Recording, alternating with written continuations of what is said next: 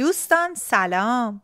من سلماز برقگیر هستم و شما دارید به پادکست لام تا کلام گوش می کنید لام تا کلام یه گفتگوی دوستان است. از قلب من به قلب شما. و هدفش فقط و فقط کمکی به بهتر کردن کیفیت روابط و زندگی شما. لام تا کلام نتیجه تحقیقات من و چکیده ای از جلسات کوچینگ و سمینارهای من. من طولام تا کلام از ناگفته هایی میگم که تاثیر زیادی رو کیفیت زندگی ما می‌ذارن و ما به هر دلیلی اونا رو نادیده می‌گیریم این اپیزود 153 پادکست لام تا کلامه که در مهر ماه 403 ضبط و پخش میشه و سوال من اینه آیا برای پیوند قلب آماده ای؟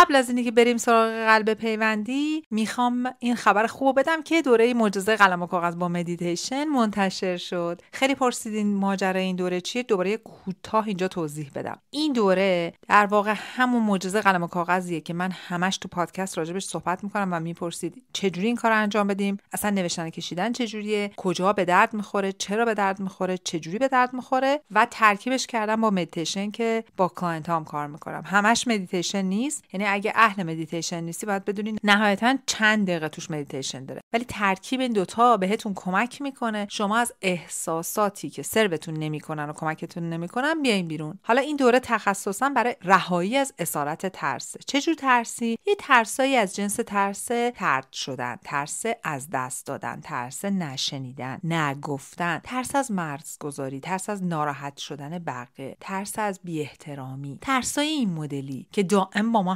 همراهن من تو این دوره با کمک معجزه قلم و کاغذ بهتون یاد میدم که چجوری ریشه این ترس رو تو خودتون پیدا کنین و با مدیتیشن زادگاه ترس رو توی وجودتون براتون مشخص می‌کنم. بعد با همدیگه ترس رو جایگزین می‌کنیم. این دوره یک بار گوش دادنی نیست بلکه هر بار هر گونه ترسی هر جای زندگیت میاد سراغت. می‌تونی بری بذاری و دوباره به صدای من گوش کنی و با معجزه قلم و کاغذ و مدیتیشن با اون ترس روبرو شی ازش عبور کنی لینک خرید دوره رو هم گذاشتیم توی description پادکست. با هر اپلیکیشنی دارین گوش می‌کنین می‌تونین رو بزنین رو لینک و ببینین چه خبره.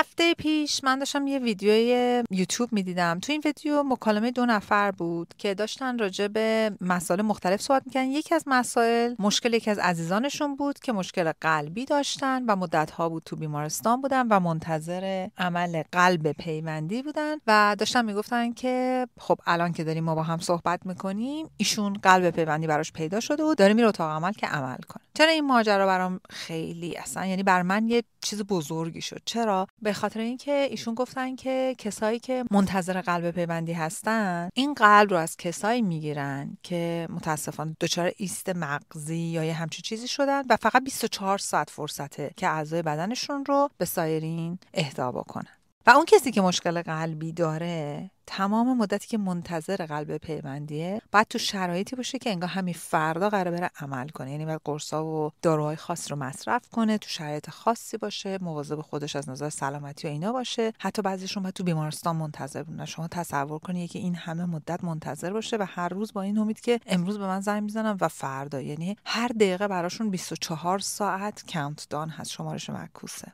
خیلی احساس عجیبیه نه؟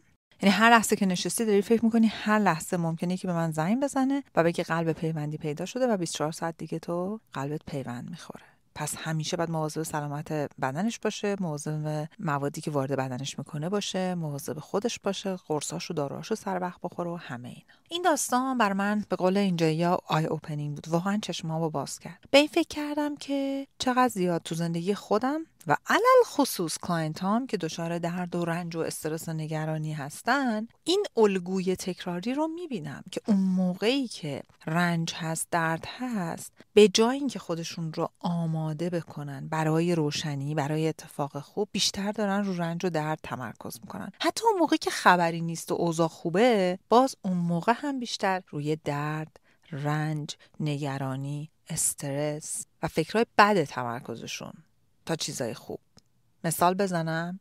این اپیزود بیشترش مثال خواهد بود و چیزهایی که من از زندگی سایرین دارم می‌بینم و یاد می‌گیرم و مشاهده می‌کنم.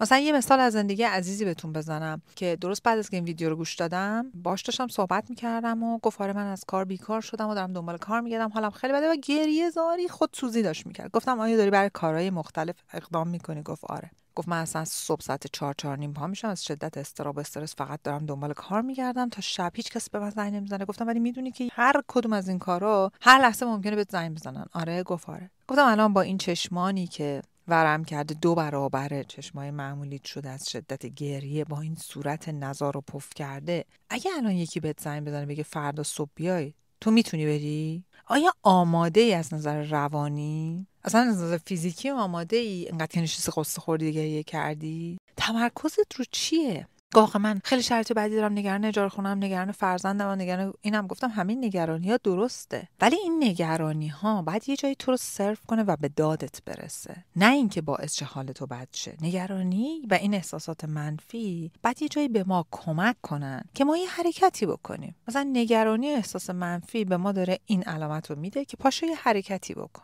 به قول خودش می‌گفت اشکهای من باز نمیستند قشنگم درکش می‌کردم. ولی علتش چی بود؟ علتش این بود که تمام تمرکزش رو نگرانی و استرس و استراب ناشی از یک آینده نامعلوم بود. به جای اینکه به این فکر کنه که خب من الان خودم آماده کنم. برای تک تک کارهایی که اپلای کردم بشینم ببینم اینا چه مدارکی می‌خوان. اگه صدام کردم برای مصاحبه و تو مصاحبه خواستن راجبشون صحبت کنم من چه چیزهایی دارم که خودم رو براشون آماده کنم؟ خیلی از ماها تو شرایط مختلف زندگیمون به جای اینکه رو اون قلبی که برای پیوند قراره بهمون داده بشه که حالا اون قلبه می‌تونه هر چی باشه یه نوری باشه تو زندگیمون یه کار جدید باشه ترمیم یه قسمتی از رابطه باشه مهاجرت باشه هر کدوم از اینا باشه. به جای اینکه رو اونا تمرکز کنیم رو چیزهایی که الان کار نمی‌کنه یا ممکنه در آینده بیان که کار نکنن تمرکز می‌کنیم. و دوستای من این آجر شکست بزرگیه تو زندگی. من فکر کنم اینو چندین بار گفتم.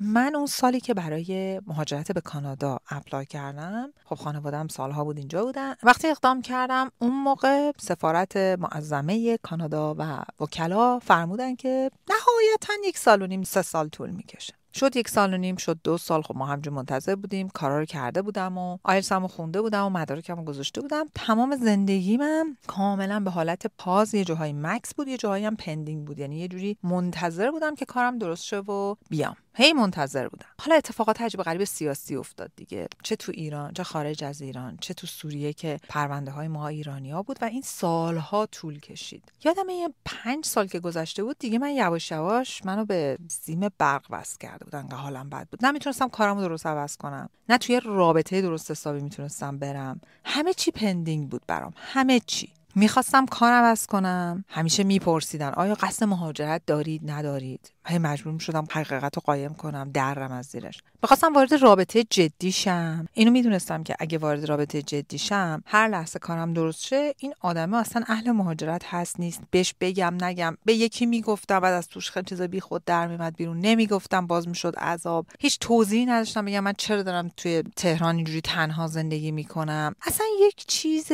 قاراش میشی بود. و همش نگران و مضطرب بودم. یعنی قشنگ اینو اعتراف می‌کنم که یه مدت مدیدی این روان منو داشت سایش می‌داد. هر دفعه که با بدم دارم سوال میگم گفتن چه خبر از سفارت؟ چه خبر؟ زنگ بزن فلان. بودم بابا کجا زنگ بزنم سفارت که تلفنی وجود نداره جواب بده. خلاصه همه چی تو هوا بود. تا اینکه یه روز داشتم با یکی از دوستهای خیلی نازنینم صحبت می‌کردم. گفت چرا انقدر ناراحتی؟ چرا نمی‌تونی تصمیم بگیری؟ چرا همش انگار که پاهات تو حواس نمی‌تونی بیای رو زمین؟ گفتم به خاطر این مسئله. گفت تصور کن یکی به تو بگه دو سال دیگه کارت درست میشه. یا اصلا بگه درست نمیشه یا بگه فردا درست میشه چه فرقی می‌کنه؟ گفتم خب تکلیفمو می‌دونم. بعد اون به من گفت گفت ببین زندگی کردن در لحظه یعنی که تو نمی‌دونی قرار چه اتفاق برات بیفته ولی با شرایط فعلی کارهایی که برای اتفاقات آینده لازمه تا جای ممکن انجام میدی. گفتم مثل چی؟ گفت مثلا تو برای رفتن به کانادا چه چیزایی لازم داری؟ گفتم خب زبان انگلیسی باید همیشه همچه قوی نگه دارم. پول لازم دارم. گفت مدرک چی لازم داری؟ گفتم شاید این. گفت گرفتی؟ گفتم نه. آخه نمی‌دونم که باید برم اونجا ببینم چی میشه. گفت شروع کن اینو تحقیق کردم راست میگه. من خیلی کارا می‌تونم بکنم به جای نگرانی. نگرانی تحت هیچ شرایطی منو صرف نمی‌کنه و کمکی بهم نمی‌کنه. و دقیقا یادم از اون روز به بعد من دیدم من نیاز دارم که زبان انگلیسی ما قوی نگه دارم و نیاز دارم پول در بیارم. و شروع کردم به تدریس زبان انگلیسی بعد از ساعت کاری. یعنی من هر روز عصری یادم بعد از کار اون موقع تو اون شرکتی که بودم یه عده آدمای همسن و سال بودیم. خیلی خوش میگذشت. سر کار و بعد کار و همش بگو و بخند و برو کافی شاپ و رستوران. من این پروسه رستوران و کافی شاپ رفتن رو به یک بار در هفته تعدیلش دادم. و تازه خیلی وقتا گفتم بچه شما بیاین خونه ما. دور همه یه کاری بکنیم که خونه بودن هزینهش کمتره. خب با این کار چیکار کردم؟ یک اون انرژی زمان و توجه همه از رو نگرانی انتظاری که نمی‌شد کاری براش کرد. آوردم روی اینه که خب سولماز تمرکزتو بذار پول در بیار تمرکزتو بذار زبانتو قوی کن. بعد من خیلی سفر دوست داشتم. دیدم خب من که سفر دوست دارم. وقتی پاشم برم کانادا دیگه حوزه خاور دور که دیگه نمی‌تونم برم. شروع کردم سفرهایی که تونستم رفتم. برم هند اندونزی مالزی. کشورهای اون حوزه تایلند رفتم به جای بانکوک و سواحل. یکی از تجربه های زیبای من تو چیانگ مای بود تو کوه های تایلند. بی‌نظیر بود به همه توصیهش کردم. خلاصه شروع کردم به اون حوزه سفر کردن. هر چقدر تونستم رفتم. یعنی هر چقدر تونستم درآمد داشته باشم. پکیجای خوب و کم قیمت پیدا کنم رفتم. تمرکزم رو از روی نگرانی برای اینی که آیا قلبی خواهد بود که به من پیوند بزنن گذاشتم رو بدنم که سالم باشه که قلبه که می‌خواد بیاد رو بدن سالمی بیاد. چون من روی قلب پیوندی نمی‌تونستم کنترل داشته باشم. توی همه جاهای زندگیتون شما می‌تونین به این ماجرا فکر کنین. اگر می‌خواین بچه دارشید هنوز نتونستین به جای اینکه ناراحت این باشین که چرا من بچه ندارم برین روی فرزند پروری کار کنین. خیلی خیلی برام مهمه و دائم دارم صحبت می‌کنم که اگر می‌خواین بچه دارشید بچه رو نرین بعد بگین من باید باش چیکار کنم. کلاس بگیرید دوره بگیرید کار کنین. بچه وسیله نیست ماشین نیست که بگیرین دستتون بگین حالا یاد می‌گیرم. ریموت کنترل نیست بچه یک انسانه. پس روش کار کنین. اگه می‌خواین ازدواج کنین و هنوز پارتنر خوبی ندارین برین رو چاله چوله های شخصیت خودتون درست کار کنین. روی علت هایی کار کنین که شاید باعث شدن که شما هنوز فرد مورد نظرتون رو تو زندگیتون نداشته باشین. اگه دنبال کار بهتر میگردید و پیدا نمی‌کنین کار پر درآمد روی مهارت هایی که ممکنه در آینده باعث ایجاد کار بهتر بشه کار کنین. یعنی تمرکزتون از اینه که چرا من کار ندارم؟ چرا من قبول نمی‌کنم؟ چرا این رئیسم با من این کار می‌کنه؟ بردارید که خب من دوست دارم سال دیگه کار بهتر داشته باشم برای اون کار چی لازم دارم؟ ببین کاری که دارم بهتون میگم سخت‌ترین کاره.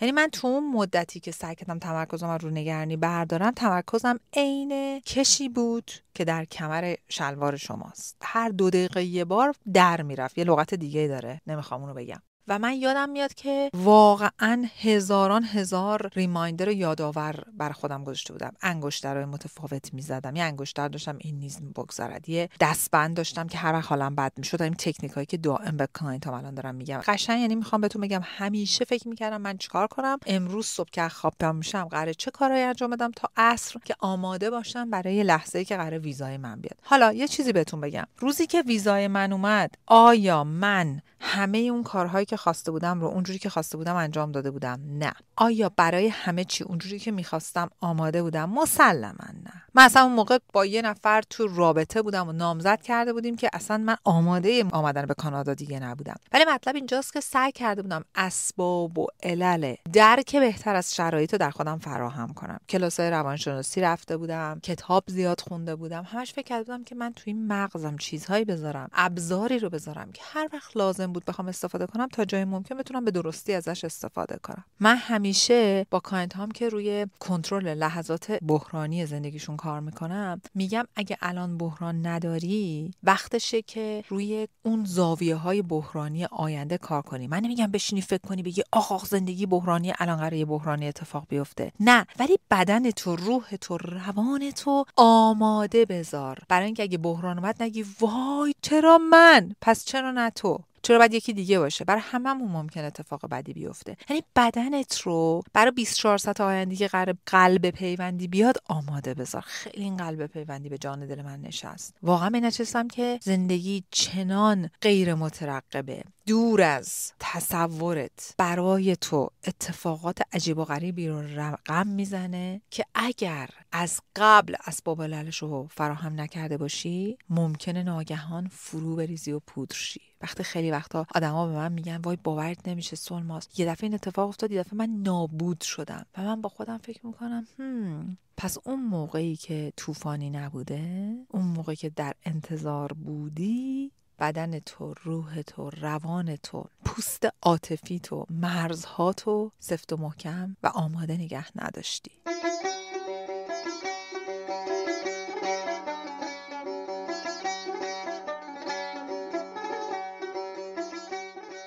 دوستای من هدف من از این اپیزود این نیست که خودتون رو شماتت کنین که چرا این کار کردین یا نکردین. هدف من اینه که به زندگیتون هر روز به چشم شرایطی نگاه کنین که 24 ساعت آینده قرار یک اتفاق خاص براتون بیفته که باعث بهتر شدن کیفیت زندگی شه ولی شما باید آمادگی دریافت اون اتفاق و پذیرش و زندگی اون اتفاق رو داشته باشین. حالا به من بگو آیا برای قلب پیوندی آماده ای؟ از همراهی گرمتون. متشکرم و ممنونم. این اپیزود رو بفرستید برای هر کسی که منتظره مضطربه استرس داره و هیچ کار مفیدی نمی‌تونه برای خودش بکنه. خیلی دوستتون دارم. ممنونم که با دوست و آشناتون این اپیزودها رو share می‌کنین و براشون میفرستی تو هر اپلیکیشن پادگیر دارین صدای من گوش می‌کنین. یه نگاه کنین ببینین subscribe کردین. میشه لایک کرد میشه کامنت گذاشت. ما رو حمایت کنین. مهدی بسیار عزیزم ممنونم از موسیقی متن و مشکان جونم متشکرم که با این عشق و محبت و دقت صدای من رو ادیت می‌کنی. دلتون شاد و تنتون سلامت.